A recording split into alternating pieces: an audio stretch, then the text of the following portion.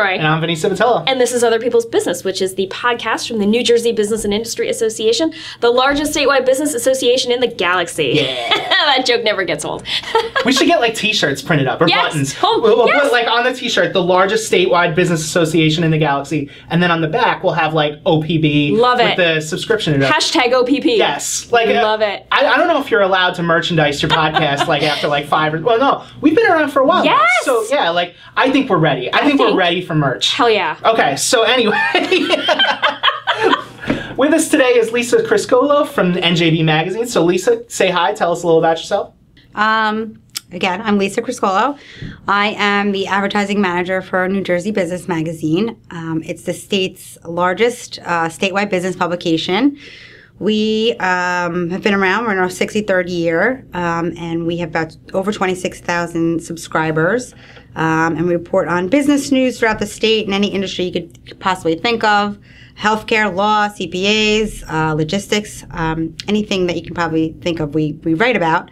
Um, so I'm here to help with anyone that needs to get their message out to the entire state of New Jersey. Um, not just print the print magazine, but we also have tons of online digital opportunities as well to get your message out and reach, um, you know, New Jersey um, and all the members of the NJBIA as well. So um, happy to be here. Awesome. Very cool. So we were talking before, and you actually share some interesting uh, likes with one of our previous guests, Laura Link from Archer Law. She is super into reptiles, whereas you are super into bugs. I was going to ask, do you have an ocelot too? yeah, yeah, yep. and in a previous episode, Vinnie and I actually had a big fight about spiders. Yeah. So today's ice Spiders are awful. They're not though. They're our They're objectively awful. Hashtag disagree. No. So today's icebreaker is is even more uh, esoteric than usual. Do you have a favorite bug? And I won't make you go first if you don't have an answer. No, so I, I don't think I have a favorite bug. I mean, Because I, I'm- nobody I'm- should have a favorite Listen, oh, I'm fascinated by bugs. I I think that they're interesting and, and like, you know, just the way they look and everything about them, but I, I don't think they're my favorite. You don't think that the way they look is kind of terrifying? Because I No, like spiders, no. but they're scary looking. Yeah, I I- just think we should like. no. I'm, I'm I'm not opposed to the fact that they exist, but I think they should all just get rounded up, put in Antarctica. And, no, no, I am like fascinated by seeing them. Like recently we saw a, um, I guess a praying mantis. And I was like, I don't see them that often, but I was, they're kind of scary looking, but it's, it's fascinating to me. I don't know why. They just, it's just the way they look. I don't know. I don't know. It's nothing. I don't want them in my house. I don't want them in my house. nobody wants any No, of these. I don't want them in my house. But I, when I do see them outside, I will stop and, and take a look. So you don't have a favorite bug. I don't think I no. I don't think I have a favorite bug. I mean, ladybugs I can handle. I was Like, gonna say I ladybugs handle- too, because so I read somewhere that they're carnivorous, like spiders, so they eat other bugs. Oh, yeah, they which is do. good. Plus, Yeah. they're ladies; they're so pretty. I don't mind a ladybug. I don't mind a ladybug. Butterflies, I don't mind either. Actually just ha- I like grew and hatched butterflies over the summer, That's which was pretty amazing to watch. But so yeah, Okay, what about this? What about a least favorite bug? Because I totally have one of those too. I, I could talk about that for the rest of the day. You know? spiders are definitely my least favorite bug. But Really? I still, yeah, if I see them, Ugh. uh, I don't like to get too close because some of them jump. But I, I Yes. think, yeah, they Spider do. They crickets. jump. yeah. So Yeah. All right, so I lived in the South for a while, and their cockroaches are like three inches long, and they have wings. They're s- They just fly. they're Well, just yeah. seriously crazy, horrifying, ridiculous. That's not a world I want to live in. But get this. So because they're so awful, they've decided in the South, I guess, to rebrand them and they don't call them cockroaches, they call them palmetto bugs. oh, And the first time somebody told me that, I was like, that is crap. I'm sorry, you cannot just change the name from cockroach to palmetto bug. And yeah, then- like why rebrand? Like Right. I understand that they could use rebranding, Yeah. but why would we want to rebrand? why would we want to help them rebrand? I don't I don't Yeah. know, except that they're so They're paying us off. prevalent. Yeah, I don't I don't get that at all. Hmm. But I just remember thinking the first time somebody tried to convince me yeah. or talk me into calling it a palmetto bug, I was like, that's not happening. Because cockroach is so ne- negative. Yeah, yes. So everyone's like, oh, let's, let's turn this around. Negative Make it positive. connotation. Negative connotation. It's a palmetto bug, not a cockroach. we could take the time that we're like rebranding the cockroaches and use that to kill more Get cockroaches. Get rid of them. Yeah. Brand killing the cockroaches. That's Yeah. what needs the PR. Seriously, I totally agree. What about you? Do you have a least favorite bug? I have like 40 least favorite. All of them. There's, the only good bug is a dead bug. Wow!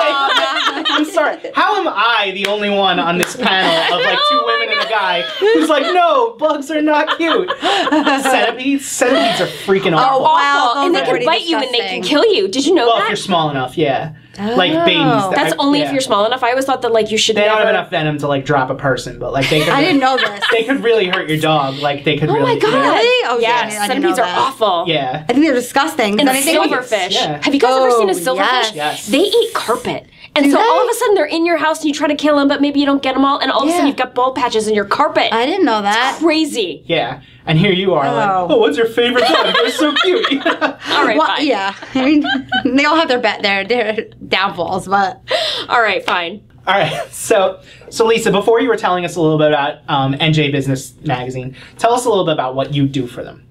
Sure. So what I do is I am, like I said, the advertising director, and really what I do is try and sell advertising, print and um, digital, uh, for clients. But mainly what I do for people is I try to, you know, if they have a budget, I try to work with them to give them, you know, maximum exposure across all the platforms we offer. You know, the print. Uh, the digital, the um, you know, we have some different email options now, some email newsletter uh, web options and web banners. So I try to work with people and what they have available to get them the maximum exposure and get their message out there, and um, you know, and even help them with their messaging if they're not really sure, like what what should, what should the ad say or what should it look like, and try and help with that also, like the design aspect a little bit, um, and with the team at the magazine, try and help people, you know, to get a good uh, cohesive message out there across um, through the magazine, Cool. the website. Yeah. That's awesome. All right, I think we're going to take a quick break. We'll be Awesome. right back. All right.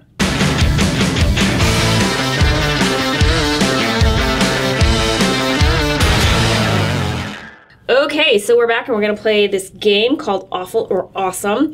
I'm going to name three things and you have to decide quickly if they're awful or awesome and then be prepared to defend your answers. Are you ready? Here we go. Texting. Awesome-ish. Awesome. Awesome? Awesome. Yeah. I love it, but um, I recognize that I, I hate it too. Like it's just, the, it's awful. It's awful. I think it's So- both. So my problem with texting is that I've reached a point where like I am doing that instead of human interaction. Correct. Yeah. You know, like I get borderline angry when people send me voicemails now. Oh, I Like- don't ever Hate check it. voicemails. Yeah, like just because I've got to log in and I've got to check it, and like I don't mind. Like sometimes there really are things Yeah. that you know like, it's annoying to type out like all that. But if somebody leaves me a voicemail, it's like, hey, it's me, call me back. I am mad. Yeah. Yeah. I'm Like. I agree. Yeah. I That- delete. That's a text. It's a text. I delete voice messages So- so, bad. If I Yeah. see you called, I'll call you back, but Right. I don't even listen to the message. Yeah. Plus, hate it's it. got me to a point where I get nervous about even calling my own friends. I'm like, they're just gonna want to text. You know, they're gonna be like, "Why are you calling me?" Right. Yeah. Or, or like when someone that you don't really call all the time, I call you Yeah. like, oh, something's wrong. Exactly. Something wrong. Exactly. Yeah. All right. Cooking shows. Awful. Love them.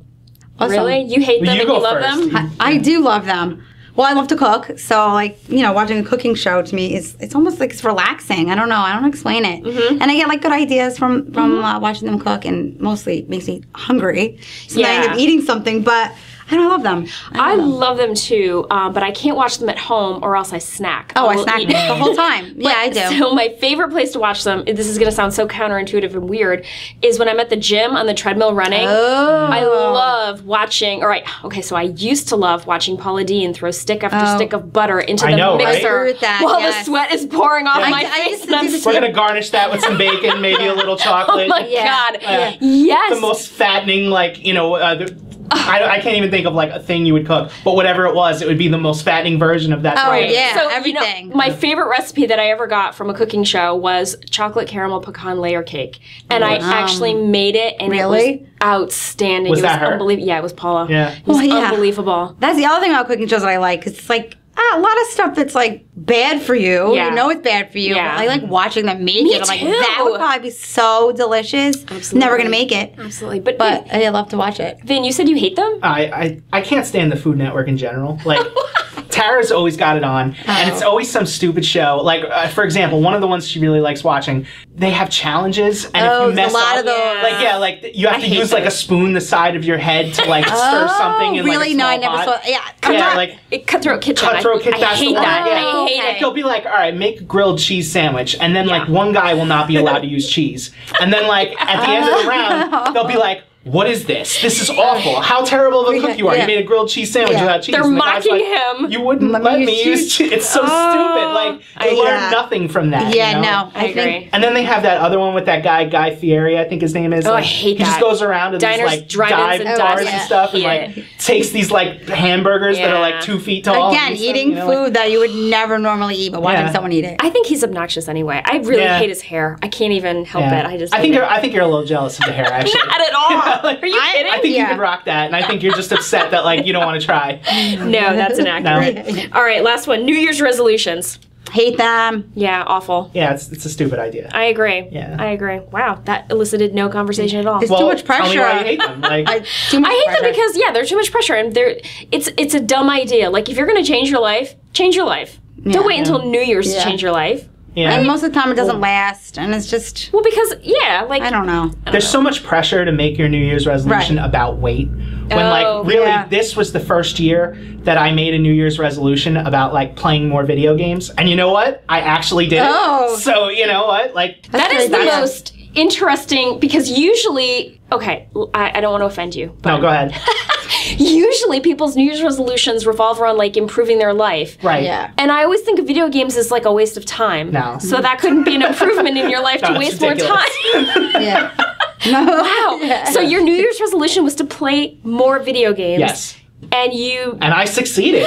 so this was the first year in a long oh time. Oh my that God. I kept my New Year's resolution. need and to it's going re- strong. Well, I need to do- rethink my life. I know. And my resolution now. Start making your New Year's resolutions things you want to do, but you know, like you don't always have the time for it. more karaoke. more karaoke. Right. Exactly. I am so down. And come December, when you've actually done more karaoke than last year, won't you feel great about your life? Yes! oh, I'm doing this this you year are too. a I gotta freaking genius. I know, right? Oh God. Being misunderstood is the fate of all true geniuses. That is a quote from Howard Stern. It's so Uh-huh. true. Damn. Okay. Wow. You're blowing my mind, and I need a, I need a minute. But I'm just gonna keep. I need a minute. You take it So, from here. Lisa, tell us how people can get more information on the magazine. Well, you can go on the website, which is njbmagazine.com. Um, and you can also call me. Uh, the number is 973 852 6225.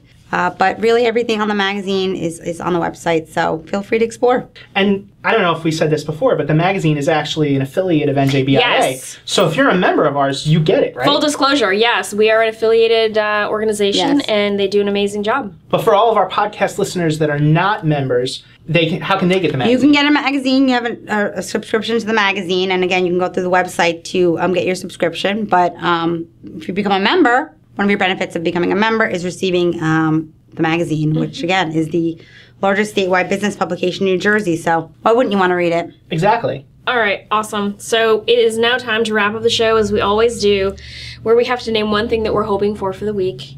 And uh, I actually have mine top of mind, so I'll go first if Go you, for it, uh, yeah. unless either of you want to No, go go first. ahead. No, go okay. for it. So I'm going shoe shopping this weekend, and I, uh, you know, shoe shopping in New Jersey, you can usually do some damage, right? Oh. But Yeah. there have been many times when I have left empty-handed and sad. You know, like I, I really am hoping that I can find something really cute. Wait, so like, why do you leave empty-handed? Well, because they don't have your size, or they're not Ah. comfortable, or you don't find anything that you like at all. I mean, that almost never happens. Always, I can find something I like. Yeah. But every once in a while, you'll try them on, and they just pinch, or they're not, Yeah. they don't fit right, or they don't have your size, and then you're just like, oh man. Wait, so like I all right, so I'm a guy, and I, this is really awful to say. I haven't been like I maybe go shoe shopping like twice a decade. So have we? Oh my God, Yeah, there's there twice a year. I don't know. What? like once a So quarter. have we progressed to a point where you can't just buy shoes online? oh no, we totally can. can. But but the fun is like looking at a sea of shoes in front of you Okay. and like walking down the aisles and looking and picturing yourself wearing those Yeah, shoes oh, and then yeah. trying them on and it's a whole experience. Hmm. yeah. It's like ordering It is. dessert. Like Okay. you walk up to the dessert case and you're like, look at all of the mm-hmm. options, and you choose what you want. Except with shoes, you can choose more than one. yeah. Okay. I mean, Amazing. with dessert, you can choose more than one too, but Yeah. you hmm. usually don't. Okay. I usually don't. Hmm. Yeah. Yeah. Lisa? Oh, so what am I? What What are you hoping for for the week? am I? What am I hoping for? Oh God. You can make this personal. Um, uh, what am I hoping for for the week? Just well, first of all, in my house, I have two little kids. I have a healthy week. Uh, no one being sick. There you go. Uh, That's good. Usually this time of the year, it's sick, sick, sick every day. Uh, Uh, but just to have a, a quick week to get to the weekend because it's family time and relaxing time and um, you know spending time with, with friends and family. So That's a nice. Well, you know. That's a nice hope. yeah, I Healthy, do. happy mm. family. Healthy, yeah. I like I that. actually have a similar one to hers. Like I, I know that this time of year is generally when I get a cold. And when I get it, like I almost never get sick, but when I do, it really like knocks me Oh, out. yeah. Yeah. So I don't want to get like a cold for like another three weeks. So that's my hope for this week. Yeah. That sounds so lame. I'm gonna tack Another onto that peace on earth and goodwill towards mankind. Yeah, right, exactly. Oh yes. that is hilarious. So that's our show. I think that not? might be Yeah. our show. yes. So please subscribe on your network of choice iTunes, Google Play, we're on the Amazon Echo, and YouTube. I mean, if you're not really into the whole concept of the uh, the podcast, you don't want to get a podcast app. You know, check us out on YouTube. You can go to the NJBIA YouTube page, and we have a, a playlist of the episodes that gets updated every week or every other week when we post. So check us out there. I mean, if you're listening to us now and you don't like podcasts, that's probably where you're listening to us from. So probably a moot point for me to even like promote that, but why not? I'm here and we're doing it. Exactly. Write to us at opb at njbia.org if you have any ideas for how we can do things better or if you have any icebreakers you'd like us to answer for you. Thanks to our early subscribers and listeners. We are uh, so appreciative of the love and support. Oh, definitely. And thank you to Lisa Criscuolo for joining us today. Did you have fun? I did. I'm so Thank glad. And if we were to guys. merch this show, would you buy a t-shirt? I would, of course I would. Yes, we're Awesome. merching it. We're doing it. Uh, this is happening. I'm, Yeah. I'm getting one. Hashtag merch. I have no idea how we're going to sell them, but I'm I'm sure the, the good people at BIA will figure it out. It'll be fine. Yeah. It'll be fine. All right. Thanks, everybody. Bye. Thank you. Bye. Bye.